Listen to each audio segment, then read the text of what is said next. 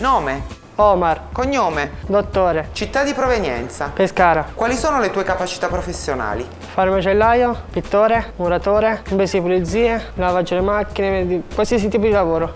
Le tue esperienze professionali? Ho fatto sei mesi alla Conad, dopo sul mare, stabilimento sul mare, ho fatto dopo una settimana di stagione con mio zio all'imbesi di pulizia, dopo ho fatto due mesi a Fornaro con un padre mio amico, Che tipo di lavoro cerchi?